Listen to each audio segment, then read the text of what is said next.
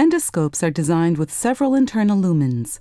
The lumens of Olympus endoscopes require specific levels and concentrations of detergent, rinse water, high level disinfectants, and alcohol to ensure an efficacious process.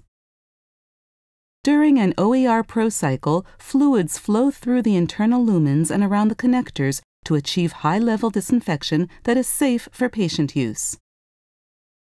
The design of the OER Pro allows fluid to overflow around the adapters to promote high level disinfection at all connection points. The OER Pro utilizes a connector overflow system to achieve optimal cleaning and disinfecting of these critical points.